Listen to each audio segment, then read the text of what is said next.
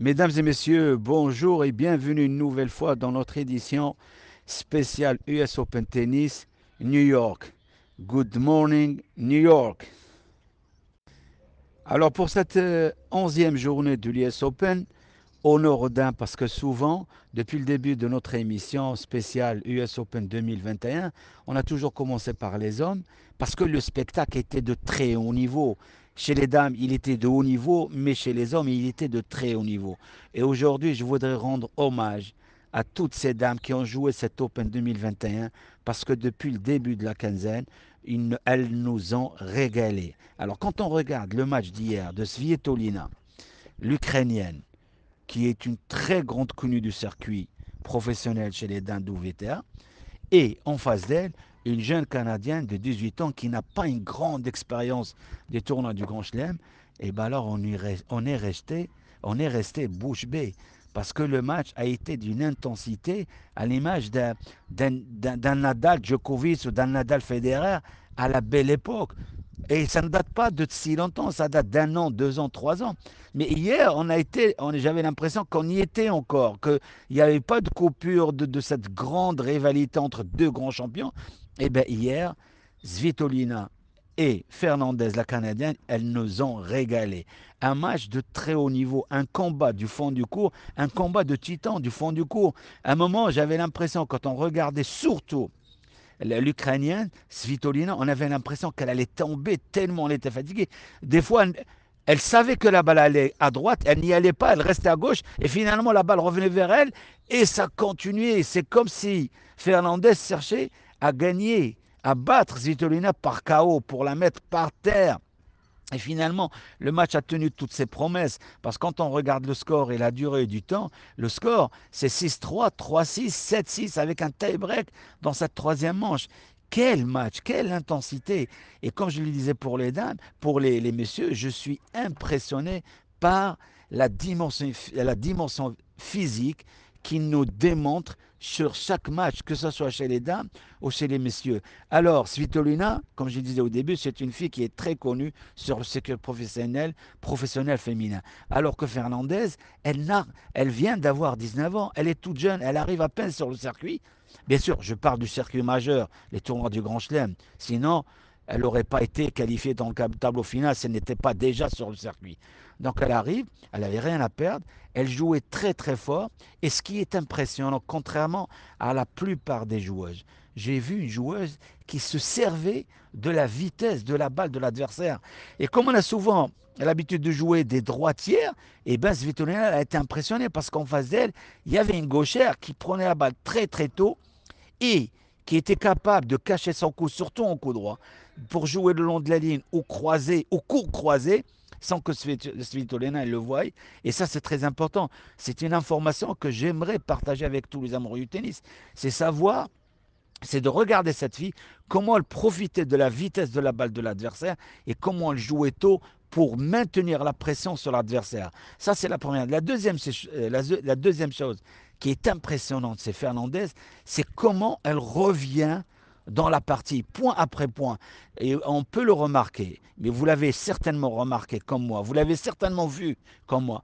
Mais peut-être vous ne lui avez pas donné l'importance qu'il mérite ce geste. À chaque fois qu'elle était en doute, qu'elle n'était pas bien, elle faisait ce que nous on appelle, enseignant de tennis, on appelle ça prendre du recul. Alors qu'est-ce qu'elle faisait? Elle faisait 3, 4, 5 pas en arrière. Elle se mettait contre, pratiquement contre euh, la bâche du fond du cours et elle sautillait, elle respirait. C'est ce qu'on appelle dans notre jargon psychologique prendre du recul et revenir au combat. Et ça, c'est extraordinaire parce que quand on regarde un match, et surtout si on est grand passionné, qu'on veut progresser, qu'on veut transmettre des messages, il faut regarder les détails, les petits détails comme ça pour aider les futures générations, même les anciennes, même l'ancienne génération, a continué à progresser. Et c'est cela que je voulais. À un moment, je pensais qu'elle allait craquer parce qu'elle manque d'expérience, un quart de finale. Elle jouait une place pour les, demi-finales. Et finalement, c'était pas ça. C'est elle qui était en confiance. C'est elle qui. Parce qu'à un moment, on peut dire que Svetlana aurait perdu le match. Mais non, là, le match, c'est Fernandez qui est allé le gagner. Elle est allée gagner par son courage, à prendre la balle tôt, cette décision de, vouloir d'être en action et non pas en réaction. Alors que Svitolina, on l'a vu par moments, elle était en réaction. Alors qu'en face d'elle, la Canadienne, elle était en action du début jusqu'à la fin. Et ça, c'est un très très bel exploit. Et vraiment, quel régal ce tennis féminin et quelle beauté de jeu. Là, je parlais de la surprise fernandaise. Mais maintenant, on vient d'apprendre la nouvelle surprise encore, c'est la, la, britannique, Raducanu. Elle a à peine 18 ans. Quand elle a eu la wildcard pour aller jouer au Wimbledon, pendant Wimbledon, elle recevait ses notes encore d'école par ses profs et en même temps lui demandait des résultats ou des billets pour aller la voir à, Wimbledon. Comme quoi, c'est tellement possible. Ça peut passer du néant un truc immense. Et c'est là, on l'a vu, parce qu'elle vient de battre Benchis, euh, médaillée d'or aux Jeux Olympiques de, Tokyo, et où tous les, parieurs, tous les statisticiens, toutes les personnes qui donnent les statistiques avaient misé sur Benchis, y compris moi. Moi, je la voyais gagner, je la voyais au moins aller en finale. Et finalement, elle prend, excusez-moi le terme, elle prend une raclée. 6-3, 6-4 quand cette fille, qu'on se disait, bah, elle n'a pas de grande expérience, mais finalement, elle a de l'expérience. Aujourd'hui, elle va jouer une demi-finale à l'US Open pour ses 18 ans. C'est extraordinaire. Mesdames, bravo et chapeau bas.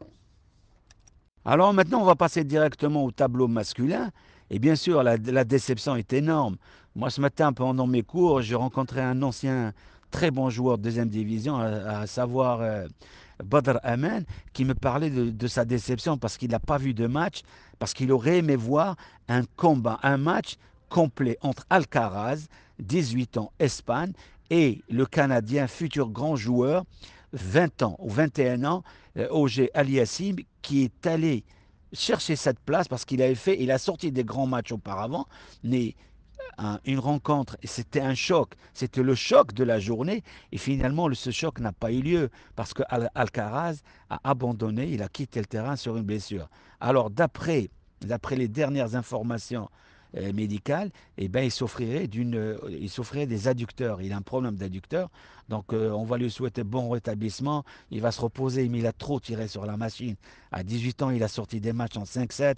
Il a confirmé, il a fait une première semaine exceptionnelle. Après, il arrive dans la deuxième semaine où il gagne encore ce, ce match pour aller en quart de finale. Et finalement, ça ne tient pas parce que les muscles, il est encore en construction. Et donc, à un moment ou à un autre, ça casse. Voilà, aujourd'hui, il abandonne son match et, et Eliassim, il passe en demi-finale. Donc, c'est un match. Euh, c'est pas démérité pour Eliassim, il le mérite. Donc, félicitations et bon rétablissement euh, au jeune espoir espagnol Alcaraz. Oui, après sa victoire sur l'espagnol Alcaraz, le jeune Canadien il va affronter un, un pour ne pas dire le favori derrière Djokovic de, ce tableau 2021 US Open, à savoir euh, le russe Medvedev, dont on a très peu parlé pendant cette quinzaine, un joueur hors norme, qui est aujourd'hui, je pense, un des meilleurs retourneurs sur le circuit, parce qu'il ne se pose pas de questions. On sert à droite ou à gauche de son jeu, c'est-à-dire qu'on sert sur le coup droit, sur le revers, il ne se pose pas de questions il attaque la première et la deuxième. Alors oui, on peut s'inquiéter pour Medvedev parce que il a fait un match très très serré. Il ne gagne qu'en 4-7, 7-5 au quatrième parce qu'on a été, on a été habitué à le voir gagner facilement en 3-7. Mais hier, on, a, on avait le droit de se poser la question. Il a perdu quand même 7 et il ne gagne que 7-5 au quatrième contre le, Hollandais 22, 22 Zandt. Donc, euh, un, Hollandais qu'on ne connaît pas très bien, il arrive, il, arrive en quart de finale. C'est quand même euh, pas une mince affaire. Bravo Hollandais, mais Medvedev, il est là. Et que je le disais tout à l'heure, il fait partie des meilleurs retourneurs du monde. Mais malheureusement, lui, il, il n'a peut-être que le retour ou un service. Mais le grand favori Djokovic, il a le service, il a le retour, il a le mental, il a le physique. Donc ça va être beaucoup pour, pour le battre, mais un match est un match. Il faut le jouer. La vérité d'hier n'est pas celle d'aujourd'hui, n'est celle de demain, mais pour l'instant, ce n'est pas encore le cas. Donc Medvedev, en demi-finale, il va, il va jouer au Yassim. Et bien sûr, le match que tout le monde attend, c'est la revanche de Wimbledon de cette année. De Wimbledon 2021, la finale, c'était Berrettini contre Djokovic. Et Djokovic, il gagne, bien sûr, haut les mains parce qu'il avait encore ce titre à mettre dans la poche. Mais aujourd'hui, en quart de finale, euh, Berrettini, il va pas, va pas vendre sa peau euh, facilement. Donc il va, se battre pour, prendre sa revanche sur Djokovic et peut-être créer la surprise. Mais malheureusement, quand on arrive sur le central et qu'on joue Djokovic, on a, on a déjà, on part avec 10, 15, 20% de, de, de, de points perdus. Parce qu'on se dit, on joue Djokovic, il faut jouer à la perfection, on n'a pas le droit à l'erreur, on n'a pas le droit de rater sa première. Et quand on commence à se poser des questions par-ci par-là, on sort un petit peu de, de sa propre concentration normale et on commet des erreurs. Alors, s'il arrive à gérer ça et qui joue point par point à fond à 100% de ses moyens, il a toutes ses chances parce qu'il sert très très bien depuis le début de la quinzaine. Il sert très très bien et Djokovic n'est pas à 100% de ses moyens. Alors euh, Berrettini peut très bien jouer, mais malheureusement pour lui en face de lui, il y a le lot Djokovic. Et Djokovic, dans les grands moments, il répond toujours présent. Donc ça va être un très bon match. Et l'autre, l'autre carte finale qui permettra une place en demi-finale, soit pour Zverev, soit pour le représentant du continent africain, à savoir le Sud-Africain Harris, c'est un grand favori avec un grand service et un capital hors norme. Et là, je parle de Zverev parce qu'il joue très bien depuis un bon moment. Il a gagné à Cincinnati, il arrive ici en pleine forme. Il a une, première balle, allez, comme on dit dans le jargon tennis, à 10 000 à l'heure. Et sa deuxième balle, il la kick aussi, aussi fort, aussi vite.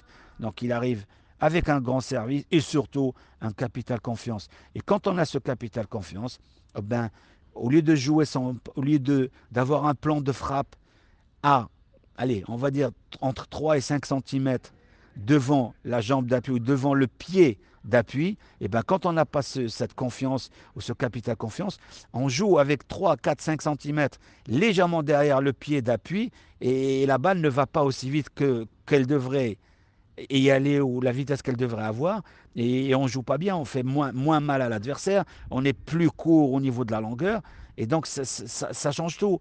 Et là aujourd'hui, euh, Zverev, il arrive en confiance, grand service, prise de balle très très tôt. Donc ça va être un match très difficile pour Harris, mais c'est tout bon pour le spectacle. On a un favori, un grand favori, et on a un outsider qui n'a rien à perdre et qui va jouer sa chance à fond de la première jusqu'à la dernière. Et qui sait, on ne sait jamais. Il peut réitérer l'exploit de, de l'ancien Sud-Africain aussi qui avait très très bien brillé. Et voilà, donc le tournoi reste ouvert mais le spectacle est là et c'est ce qu'on cherche. Voilà, et que le, que le meilleur gagne.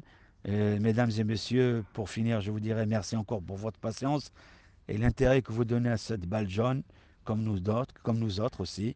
Donc euh, voilà, merci, vive le sport, que vive le sport et spécialement le tennis sur la Sport Channel. À très bientôt.